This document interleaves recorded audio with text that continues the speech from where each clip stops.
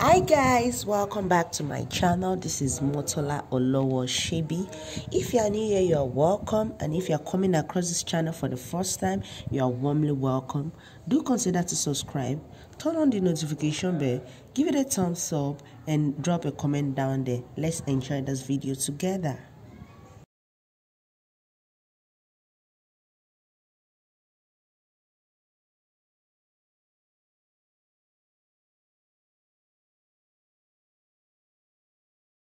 So today we'll be making a point and kill catfish.